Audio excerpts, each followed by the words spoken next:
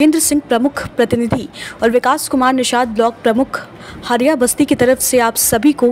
होली शुभकामनाएं